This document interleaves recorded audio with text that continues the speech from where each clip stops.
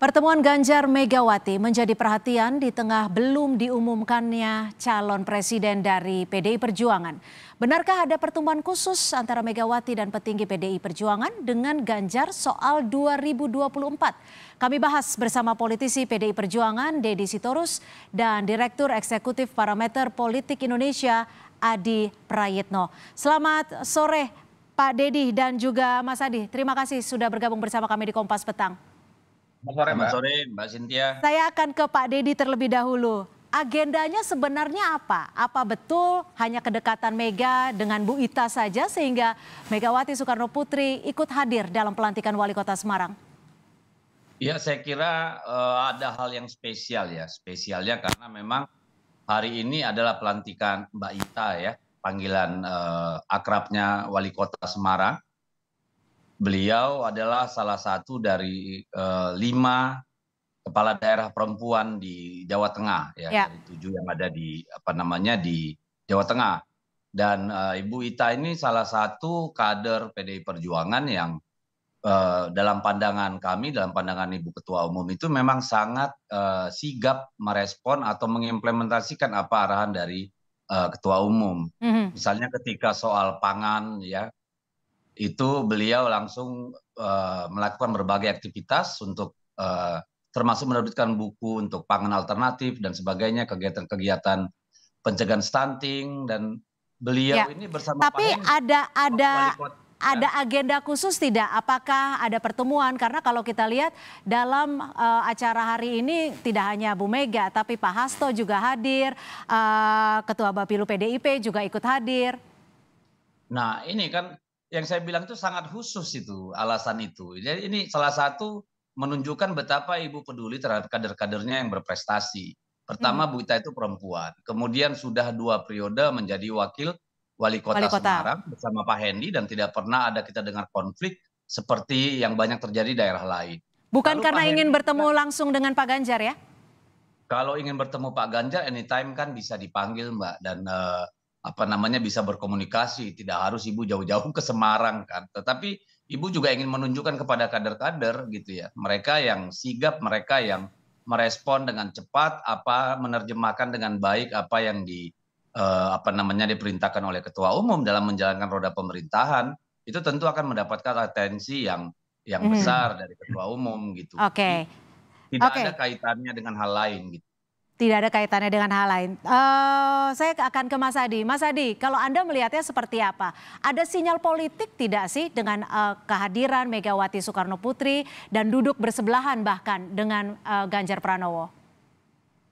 Saya ingin komentar dua hal ya. Pertama, ini tentu sebagai sebuah nyinyaman bahwa Mbak Mega itu memang cukup concern dengan kader-kader dan aktivis PDIP yang khususnya perempuan. Kalau kita sering mendengarkan statement-statementnya Megawati dalam berbagai event penting di internal mereka, memang Megawati menunjukkan perhatian yang cukup serius betapa perempuan itu jangan pernah dipandang sebelah mata, jangan pernah perempuan itu dianggap sebagai second class citizenship yang dianggap tidak mampu. Mm-hmm. Itu tanda-tanda politik yang memang sering kali kita dengar. Kalau dilihat rata-rata memang PDIP ini merupakan salah satu partai yang memang melahirkan banyak tokoh di bidang perempuan, Mbak. Jadi wajar kalau kemudian pelantikan wali kota di Semarang itu secara spesial juga didatangi oleh ketua umum mereka. Okay. Dan itu surprise ya. Itu yang yang pertama.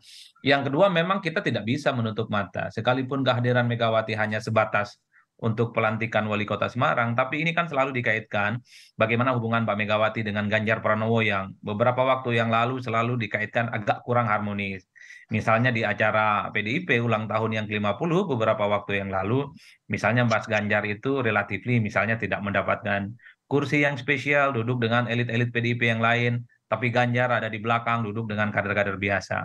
Mungkin bagi PDIP memperlakukan Ganjar ataupun pejabat-pejabat publik dari PDIP yang lain itu setara dengan yang lain, tapi kan hmm. publik tidak pernah berhenti mengaitkan dulu ya hmm. bahwa memang terkesan ada treatment yang rada-rada kurang enak terhadap Ganjar karena dinilai kemajon, karena dinilai terlampau agresif memprofiling. Jadi artinya Anda mau menyebut bahwa momen ini dijadikan salah satu uh, momen untuk memperbaiki citra uh, hubungan antar keduanya, seperti itu? Ya kalau dugaan-dugaan publik segitu Mbak, bahwa hmm. ya kehadiran Mbak Mega ke Semarang, pertemuan dengan Pak Ganjar misalnya disambut di bandara dan duduk bersebelahan, ini kan merupakan satu gestur bahwa sebenarnya antara Megawati dengan Ganjar Oke. Pranowo nggak ada persoalan apa pun.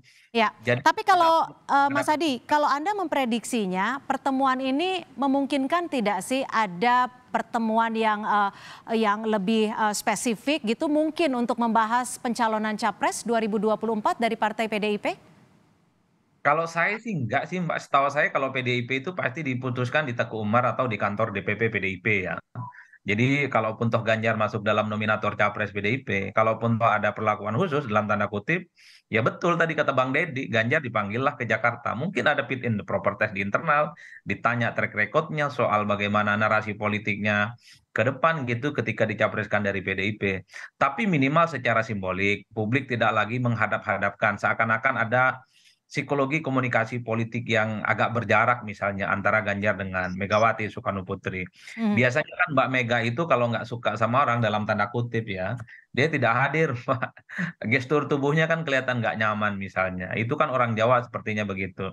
Tapi kalau ngelihat gesturnya Megawati, duduk bersebelahan, juga sempat ngobrol dengan Ganjar, ra- rasa-rasanya hubungan keduanya itu baik-baik saja. Publik saja yang riuh rendah, seakan-akan akan keduanya. Toh di end of the day-nya, Ya. persoalan pencapresan itu ya Megawati yang menentukan, bukan yang lainnya. Ya. Kan itu sebenarnya secara simbolik yang bisa ditebak. Mbak Ganjar dengan Megawati nggak ada persoalan apa pun. Oke, saya akan ke Pak Dedi. Kembali ingin memastikan kalau dari eh, parpol sendiri tidak ada isu-isu ataupun informasi terkait dengan pembicaraan khusus soal pencapresan. Saya kira bukan langgam Ibu Megawati ya untuk membicarakan eh, calon presiden ke sana kemari gitu ya. Beliau pasti memanggil orang-orang yang dia percaya, memanggil para pakar-pakar, para sepuh gitu ya, struktural partainya sebelum mengambil keputusan, merenungkan dan sebagainya. Itu eh, gaya Ibu Megawati. Jadi tidak tidak mungkin Ibu Megawati pergi ke sana kemari untuk bicara soal capres-capres. Yang kedua saya ingin mere- me- me- merespon dulu nih yang dikatakan oleh Mas Adi Pray tadi ini karena sangat penting. Di PDI Perjuangan itu kita beda dengan partai lain. Kalau di partai lainnya kalau ada tokoh populer, kalau ada kepala daerah itu seolah-olah menjadi apa namanya harus menjadi etalase. Kalau di kita tidak. Kalau di kita dari dulu hingga sekarang itu ya kepala daerah itu ketika ada acara seperti rakernas, kongres itu duduk di daerahnya ya, utusan daerahnya masing-masing. Jadi yang duduk di depan itu biasanya adalah para tamu eh, undangan gitu ya, lalu DPP partai atau kader-kader yang mendapat jabatan-jabatan publik gitu. Sementara kepala-kepala daerah itu selalunya bersama daerah duduk bersama utusan dari masing-masing daerah. Jadi tidak ada perlakuan khusus. Dan itu dari dulu sampai sekarang. Maka kalau di kemudian dipertanyakan kenapa ya kemarin ulang tahun Oke. PDI Perjuangan tidak ada kursi khusus buat Pak Ganjar, tidak ada tumpeng dibagi ke Pak Ganjar karena memang bukan adat kebiasaan PDI Perjuangan gitu. Karena kita Baik, semua tapi sama. saya ingin eh, Pak Dedi dan juga Mas Adi kita sama-sama lihat seperti apa gestur keduanya saat pertemuan di Semarang. Kita sama-sama saksikan berikut ini. Sama kita hormati, kita muliakan. Saya kira yang hadir hari ini banyak yang kangen untuk bertemu. Profesor Dr. Hajah Megawati Soekarno Putri, terima kasih sudah hadir. Didampingi Pak Sekjen, Pak Asto, dan seluruh jajaran DPP. Hadir juga Ibu, keberadaan Ibu di tengah-tengah kami ini adalah suntikan energi suntikan energi yang luar biasa bagi kita semuanya, wabil khusus kader PDI Perjuangan. Meskipun pasangan Hendi Ita saat itu diusung oleh banyak partai dan seluruh partai yang hadir, terima kasih hari ini. Pak Adi, suntikan energi. Tapi sebelum eh, masuk ke suntikan energi, Bu Mega juga tampak tidak terlalu merespon ketika semua yang hadir bertepuk tangan. Anda melihatnya gesturnya seperti apa Pak Adi? Ya, kalau saya membaca rata-rata ya, suara Ganjar Pranowo itu agak bergetar ya. Agak berbeda misalnya ketika pidato di berbagai tempat, ataupun kalau kita melihat di sejumlah medsos di mana Ganjar itu terlihat plong, nyaman gitu. Nah, di depan ketua umumnya, rada-rada agak hati-hati, mungkin takut ada diksi-diksi dan statement-statement yang agak kurang berkenan. Itu yang pertama. Yang kedua, saya kira memang ya, Ganjar memberikan satu apresiasi, memberikan informasi bahwa semua yang hadir, terutama kader PDIP merasa senang gitu dengan kehadiran Megawati. Karena apa pun judulnya Mbak, kalau kita belajar di PDIP, semoga tidak salah ya Bang Dewi, memang uh, satu-satunya veto player soal keputusan politik strategis dan penghormatan yang setinggi-tingginya itu selalu diberikan kepada ketua umum mereka, Megawati Soekarno Putri. Itu satu hal yang mungkin agak berbeda dengan partai politik yang lain. Itu yang sepertinya memang yang kemudian membuat Ganjar Pranowo itu saya lihat gesturnya memang cukup hati-hati. Mungkin akan takut ada slip tang dan seterusnya dan seterusnya. Yang kedua, Mbak Mega ini kan memang orangnya dingin ya orangnya. Dingin dalam arti memang tidak semua hal harus ditepuk tangani, tidak semua hal harus direspon secara ekspresif, tapi uh, setahu saya Mbak Mega itu selalu mencatat dari setiap apa pun statement-statement yang muncul dari berbagai orang yang memberikan sambutan dan pernyataan-pernyataan politik. Jadi sekalipun tidak memberikan tepuk tangan, terkesan datar-datar saja bagi saya itu bukan suatu hal yang perlu dibesar-besarkan, tapi hmm. minimal Megawati itu mau hadir ke Semarang, bertemu dengan Ganjar misalnya, duduk sebelahan, itu something yang menurut saya bisa menghilangkan persepsi bahwa keduanya sedang ada sesuatu yang tidak baik-baik saja. Untuk itu, memperbaiki citra uh, publik juga ya, antara keduanya hubungannya baik-baik saja. Kalau dibilang suntikan energi, ini juga tidak ada makna lain, Anda melihatnya? Yang jelas Ganjar sebagai kader tentu menyatakan kesenangannya, merasakan apresiasi yang luar biasa. Karena kehadiran ketua umum di sebuah partai politik, apalagi partai penguasa, pemenang pemilu, seperti PDIP, ini kan seperti durian runtuh, Mbak. Karena tidak semua wilayah, tidak semua kader bisa bertatap muka dan berdialog langsung dengan Megawati Soekarno Putri. Jadi Mega ini sebenarnya adalah sosok yang untouchable ya nyaris tidak tersentuh ya dalam tanda kutip bagi semua kadernya. Jadi kader-kader yang spesial lah, kader-kader yang sebenarnya punya garis tangan, mampu berinteraksi langsung dengan Megawati. Jadi wajar kalau kemudian Ganjar dalam sambutannya menyatakan ini saat ada satu suntikan ya, semangat yang cukup luar biasa yang bisa melipat gandakan ya teman-teman PDIP dan Barisan Banteng di Semarang dan Jawa Tengah secara umum. Hmm. Ini adalah satu pujian yang cukup luar biasa yang disampaikan oleh Ganjar. Dia minimal ya tidak lagi ada persepsi-persepsi dan dugaan-dugaan bahwa Ganjar ini dalam tanda kutip kemajuan dan sering kali misalnya tidak patuh terkait dengan kebijakan ya. partai. Kenyataan Ganjar ini kan mengamputasi semuanya. Ganjar, Megawati, PDIP ya baik-baik saja. Bahwa ada persaingan internal iya, tapi kan itu tidak berpengaruh apa pun terkait dengan keputusan politik nantinya. Soal pencapresan ya Megawati lah segala-galanya. Oke, uh, Pak Dedi, bagaimana Anda menanggapinya? Megawati untouchable, Megawati seakan dingin dan kalau saya bisa menyimpulkan mungkin uh, Pak Adi mau uh, menyampaikan bahwa Bu Mega lebih selektif dalam merespon apa pun yang ada di hadapannya. Anda melihatnya bagaimana Pak Dedi? Kalau saya melihat dari gesture itu ya, saya kira hal yang biasa Ibu ya, dalam suasana hiruk pikuk seperti itu ya itu kan suasana bukan sesuatu yang yang enak dan nyaman gitu ya. Lihat tadi di belakang ibu itu banyak orang foto-foto berdiri dan segala macam.